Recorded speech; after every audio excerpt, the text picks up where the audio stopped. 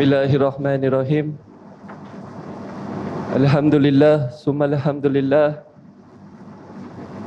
Summa alhamdulillah.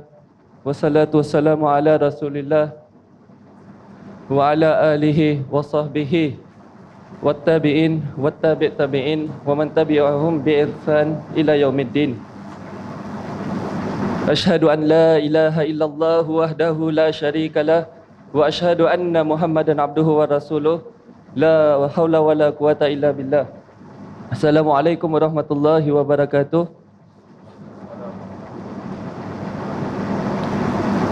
Usul fiqh merupakan sebuah subjek yang luas yang mana di dalamnya secara tidak langsung merangkumi subjek-subjek yang lebih terperinci seperti kawaid fiqhiyah dan maqasid syariah.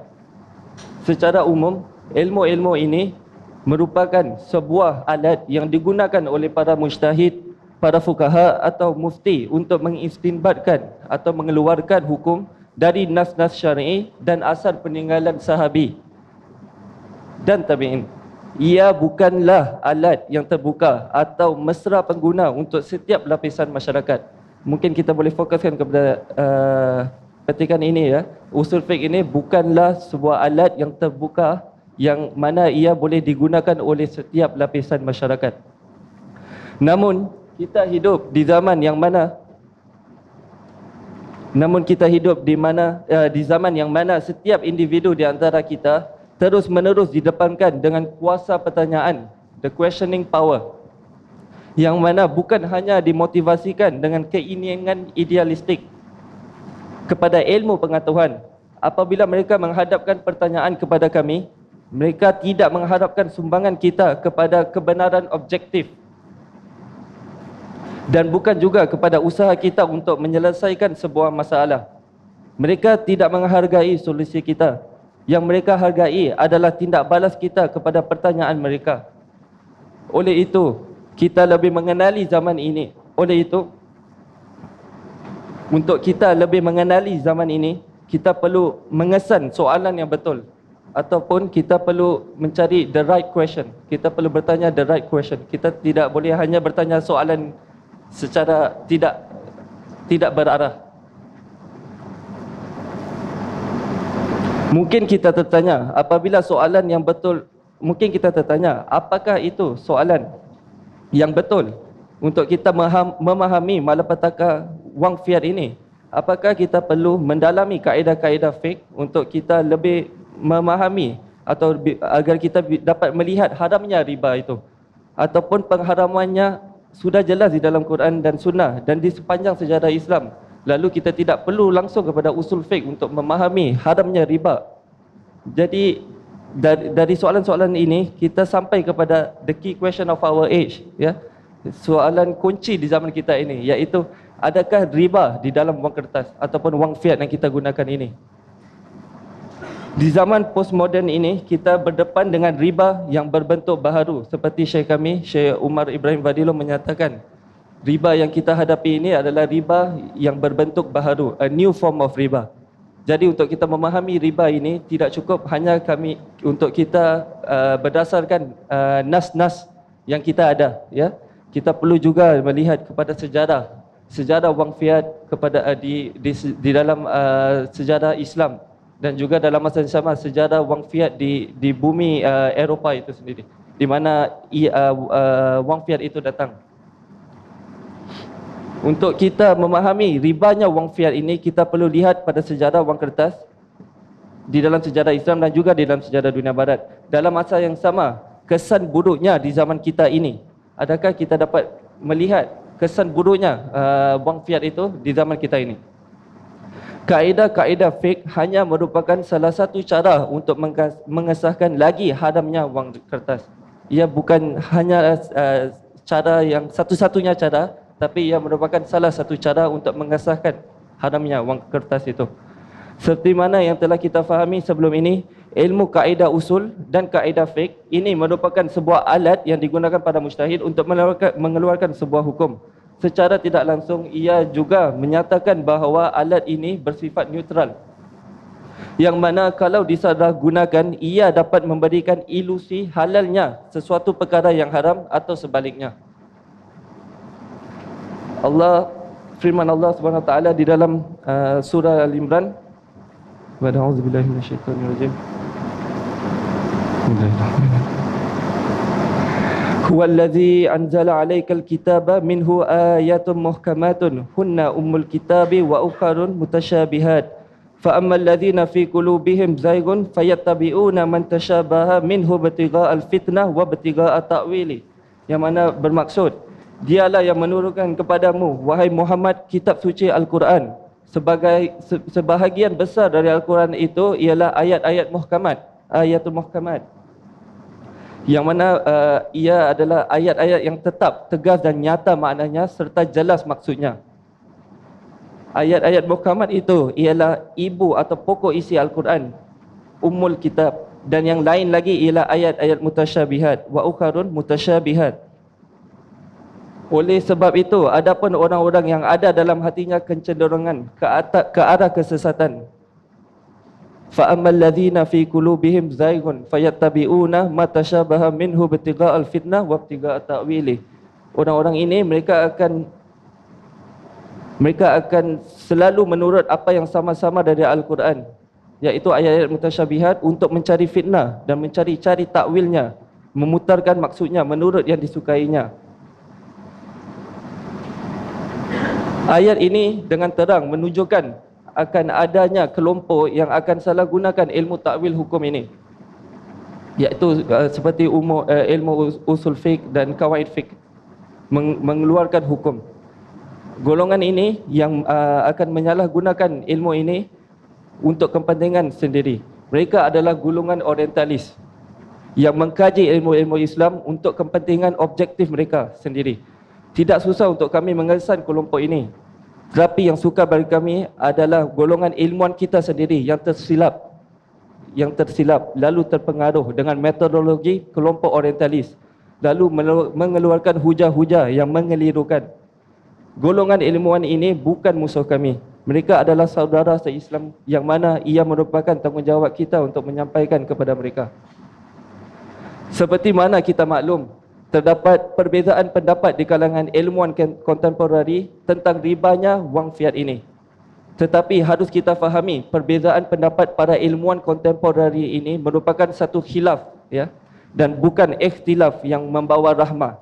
Imam Ash-Shatibi uh, wafat pada tahun 790 Hijrah rahimahullah. Salah seorang ulama mazhab Maliki yang terulung yang menyeru kepada penyatuan syariah, the unity of the syariah supaya tidak ada uh, khilaf di dalam syariah ya telah mengklasifikasikan dua kalimat tersebut iaitu khilaf dan ikhtilaf kepada yang makna yang lebih terperinci. Menurut beliau, khilaf membawa makna yang lebih luas iaitu percanggahan pandangan secara umum. Definasi tersebut merangkumi segala percanggahan pandangan walaupun ia bertitik tolak dari emosi hawa nafsu tanpa ilmu yang jelas tidak dikehendaki oleh syarak. Manakala ikhtilaf pula adalah pencanggahan pandangan yang berlandaskan garis panduan syarak mengikut disiplin ilmu Islam. Lalu jadi kerana ini kita lihat uh, perbezaan pendapat ini uh, perbezaan pendapat tentang ribanya wang fiat di zaman kita ini merupakan satu khilaf ya yang mana Imam Syatibi menyatakan bahawa khilaf itu terjadi disebabkan ta'arud adillah iaitu percanggahan di dalam dalil yang digunakan untuk sampai kepada sebuah hukum. Oleh itu di dalam sesebuah khilaf satu pendapat adalah benar dan pendapat yang bercanggahan itu adalah salah dan wajib untuk ditinggalkan. Oleh itu seperti apa yang kita lihat ini mengikut uh, definasi Imam Ash-Shatibi jika kita lihat definasi uh, perbezaan pendapat uh, wang fiat ini sebagai riba merupakan satu khilaf jadi adalah tanggungjawab kita untuk kita cari jawapannya ya. Untuk kita lihat kepada dalil-dalil menunjukkan adakah ia merupakan riba, satu riba ataupun ia bukan riba. Dari itu kami sampai kepada kertas pembincangan kami pada hari ini berkenaan wang fiat dan kaedah-kaedah fiqh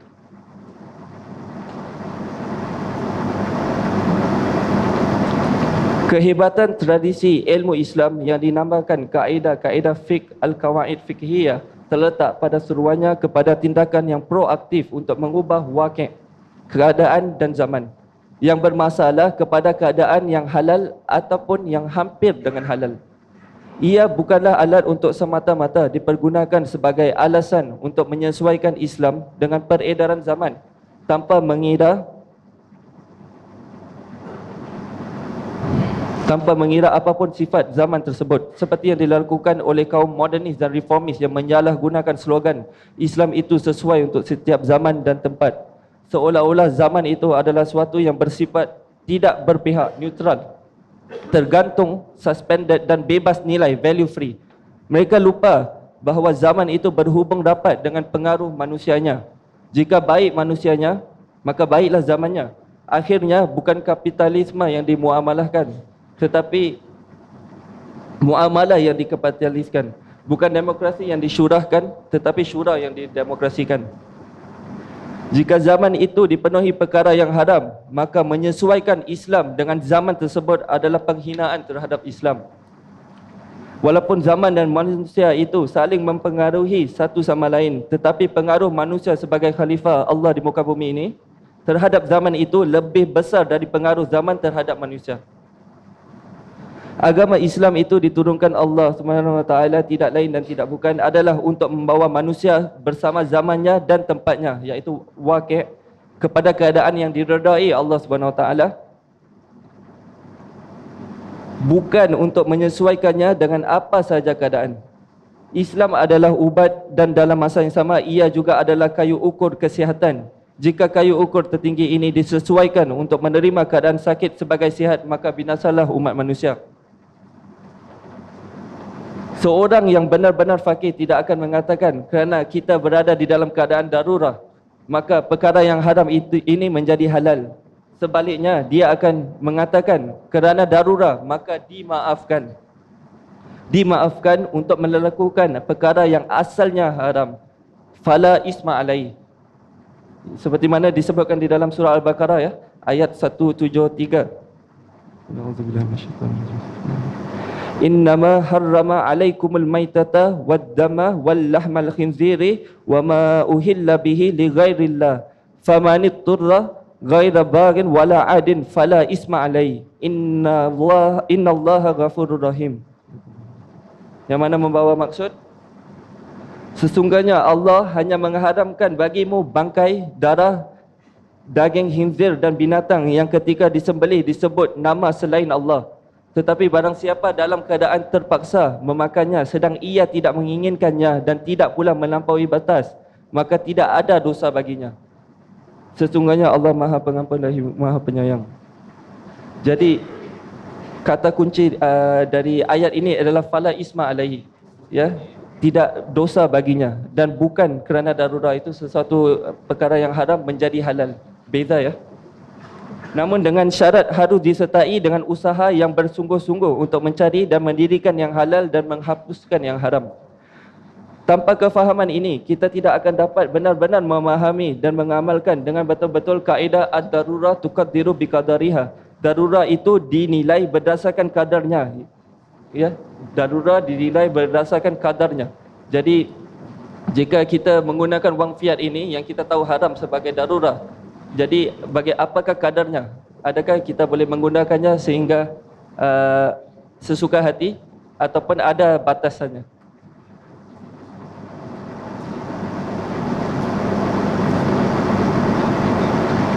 Pemakan hinzir dalam keadaan di mana tiada makanan lain darurah dimaafkan. Ini bermakna memakan hinzir pada waktu tersebut tidak bermaksud ia menjadi taraf ha-, halal yang sama dengan halalnya memakan nasi. Buktinya adalah anda tidak dikira berdosa jika memakan nasi tanpa berusaha mencari makanan lain.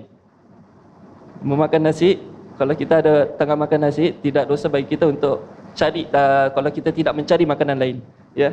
Tapi tanpa berusaha bersungguh-sungguh mencari makan lain kalau kita uh, dalam keadaan darurat tiada makanan yang halal yang ada hanyalah uh, daging khinzir contohnya jadi ia haram. Jadi tapi kita tidak dapat makanan halal yang lain. Dalam keadaan ini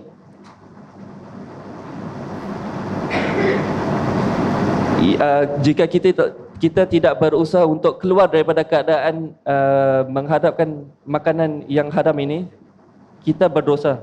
Ya. Jadi berbeza dengan uh, nasi. Kerosakan besar yang dibawa oleh mata wang fiat adalah sangat jelas bagi mereka yang membuat kajian walaupun secara rambang. Apatah lagi secara teliti. Mereka berdasarkan kaedah ad-darar yuzal iaitu kemudaratan itu harus dihapuskan. Kita tidak mempunyai pilihan kecuali berusaha menghapuskan mata wang fiat yang haram sifat aslinya dan menggantikannya dengan mata wang yang sudah sedia halal iaitu dinar dan dirham. Sebahagian pihak berhujah bahawa haraj, kepayahan dan kerosakan dan darar, kemudaratan yang yang bakal menimpa manusia akibat daripada usaha untuk mengembalikan mata wang dinar dan dirham itu lebih besar dari haraj dan darar yang sedang kita hadapi dalam menggunakan mata wang fiat. Maka berdasarkan fahaman akhafud dararain iaitu yang paling ringan antara dua kemudaratan iaitu uh, sama antara kemudaratan untuk kita kembalikan mata wang dinar dirham ataupun kemudaratan untuk kita terus hidup di dalam uh, menggunakan wang dinar uh, wang fiat currency. Kita tidak seharusnya mengembalikan penggunaan mata wang dinar dan dirham. Ini adalah hujah hujah pihak yang mempertahankan halalnya mata wang fiat. Para fukaha sudah setia maklum bahawa kita berhadapan dengan keadaan darurat. Seorang muslim diberi dua pilihan tindakan. Yang pertama, bila kita berhadap dengan uh, keadaan darurat, ialah dipanggil ruksa, keringanan. Yang kedua dipanggil azimah, iaitu bertindak berdasarkan hukum asal yang lebih payah. Jadi bila kita berhadapan dengan keadaan darurat, kita diberi, diberi dua pilihan. Sama ada ruksa atau azimah. Jika ruksa itu dimaafkan untuk kita melakukan sesuatu yang kurang mudaratnya. Walaupun ia berbentuk haram, dimaafkan. Tetapi azimah ialah uh, pilihan yang mana kita bertindak berdasarkan hukum asal. Ya, jika mata wang fiat itu haram dan hukum yang halal adalah dinar dirham dan jadi tidak kira susahnya untuk mengembalikan dinar dirham itu bagaimana kita tetap kena uh, mengembalikan dinar dirham itu. Jadi ini adalah dua pilihan bila kita berdepan dengan darurat. Di sana juga ada satu lagi kaedah yang sangat penting di dalam memahami faham darurat ini iaitu ad-darar asyaddu yuzal bid-darar akhaf yang berarti kemudaratan yang lebih dahsyat itu dihapus dengan kemudaratan yang lebih ringan.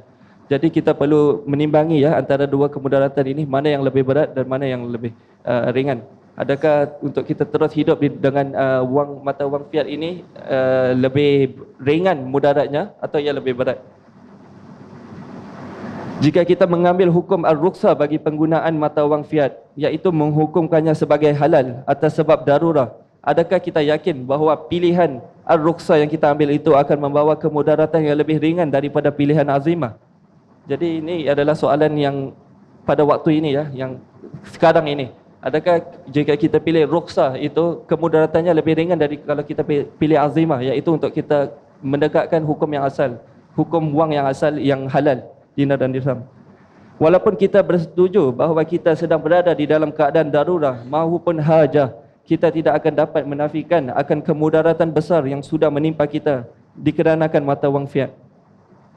Dan uh, kemudaratan ini akan diperbincangkan uh, lebih uh, mendalam lagi uh, dalam kertas uh, pembentangan yang akan datang ya, oleh Ustaz Muhammad Nur. Pada penentang bagi penangan yang mengatakan mata wang fiat itu sebenarnya haram atas alasan tidak ingin menyusahkan ummah, harus sedar bahawa masa ni kemudaratan selalu menimpa umat Islam bukan kerana umat melakukan sesuatu. Tidak, ia menimpa umat kerana diamnya golongan ulama dan umara. Apa yang telah pun menimpa mata wang rupiah adalah haraj dan mudarat yang besar ke atas umat Islam Indonesia. Apa yang telah pun menimpa negara-negara Afrika dikarenakan IMF juga adalah haraj dan mudarat. Apa yang telah berlaku ke atas ekosistem kita dikarenakan sikap-sikap syarikat gergasi yang berpaksikan riba itu adalah haraj dan mudarat. Semuanya ini adalah haraj dan mudarat yang telah pun berlaku dengan yakin jelas. Yang telah berlaku dengan yakin dan jelas. Kita dapat melihatnya ya. Ia bukan lagi satu teori yang kita uh, uh, plan yang mungkin kita rasa akan datang. Kita predik akan datang. Ia sudah jadi pada waktu kita ini sekarang. Ya, dan telah membawa kehancuran yang sangat besar. Sedangkan kebimbangan dan sangkaan kemudaratan yang bakal timbul daripada usaha mengembalikan mata wang dinar dan dirham itu masih jauh daripada tahap yakin. Ia masih berligar di dalam ruang syak kerana tiada bukti nyata ia akan berlaku. Mudarat untuk kita kembalikan wang dinar itu itu uh, buktinya tidak tidak nyata. Ia masih uh, merupakan satu teori semata-mata ia tidak timbul kecuali daripada paranoia yang sememangnya tidak berasas.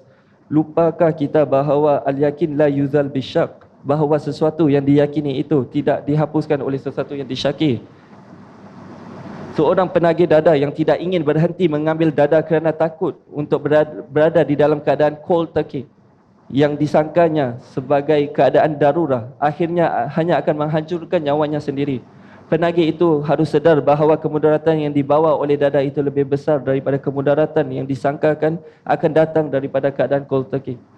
Bila mana kita hanya bila bila mana maaf bila mana kita percaya bahawa musuh-musuh Islam itu tidak akan membiarkan umat Islam mengembalikan penggunaan mata wang dinar dan dirham maka sebenarnya kita telah mengakui bahawa mata wang fiat itu adalah senjata musuh Islam untuk melemahkan kita. Jika tidak, mengapa anda menyangka mereka akan menghalang kita? Maka itu teras, uh, terang jelas bahawa mata wang fiat itu membawa kemudaratan yang besar ke atas umat Islam. Bolehkah sesuatu yang membawa kemudaratan yang besar itu halal hukumnya? Satu lagi hujah yang diutarakan oleh pihak penentang adalah al-ada muhkamah iaitu adat kebiasaan itu dapat ditetapkan sebagai hukum. Kerana wang fiat ini sudah menjadi sebuah ada yang ditetapkan by, uh, pihak uh, government. Kerana itu ia menjadi sebuah ada, ia menjadi sebuah ada dan lalu ia halal jaiz hukumnya. Dikarenakan mata wang fiat ini sudah digunakan di seluruh dunia juga dan telah menjadi adat umat manusia hari ini maka itu ia harus diberikan hukum harus ini adalah uh, salah satu uh, hujah uh, pihak penentang mereka menggunakan uh, kaedah al-ada muhkamah ya. Namun mana-mana fukaha pasti tahu bahawa tidak semua adat itu diterima oleh syariah. Untuk sesuatu adat itu diterima ia tidak boleh melanggar mana-mana hukum dan juga maqasid tujuan syariah. Seperti mana yang telah ditunjukkan pada slide uh, Amir Umar Razman tadi. Apatah lagi sesuatu adat yang dengan jelas telah membawa kerosakan yang besar kepada umat Islam dan umat manusia secara umumnya seperti mata wang fiat.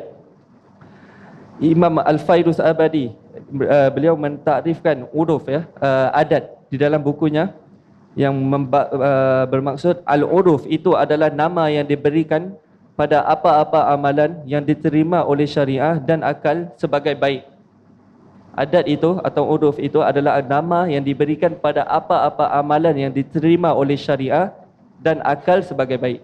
Dua. Al-uruf adalah apa sahaja yang diketahui dan diterima oleh masyarakat manusia secara fitrah. Jadi dengan uh, takrif ini boleh tak kita ap- mengaplikasikan uh, mata wang fiat ini sebagai uruf? Lalu kita gunakan kawaid al-ada muhkamah. Dan Ibnul Asir juga menulis uh, men, mendefinisikan uh, uruf itu di dalam kitabnya al-ma'ruf atau uruf adalah nama bagi apa sahaja amalan yang diketahui dan diterima daripada ketaatan kepada Allah dan perbuatan baik kepada sesama manusia. Jadi beliau mentakrifkan uh, mendefinisikan uruf itu kepada dua juga iaitu apa sahaja yang diketahui dan diterima daripada ketaatan kepada Allah dan perbuatan baik kepada sesama manusia di dalam batasan kebaikan yang digalakkan oleh syariah dan kejahatan yang dilarangnya. Ia dikira sebagai sesuatu yang diketahui dan diterima oleh manusia secara umum. Bila mereka melihatnya, mereka tidak membencinya. Fitrah, ya. Adalah sangat penting untuk kita mengakhiri bahagian kertas kita ini dengan hadis yang sangat penting yang diriwayatkan oleh Imam At-Tirmizi yang mana membawa maksud Janganlah kamu menjadi pak turut yang berkata, jika manusia berbuat baik, maka kami juga akan berbuat baik. Dan jika mereka berlaku zalim, kami juga akan berlaku zalim. Sebaliknya, kukuhkan pendirianmu. Jika manusia berbuat baik, maka kamu juga harus berbuat baik. Tetapi jika manusia berbuat jahat, maka janganlah kamu berbuat jahat. Sadaqah Rasulullah wasallam.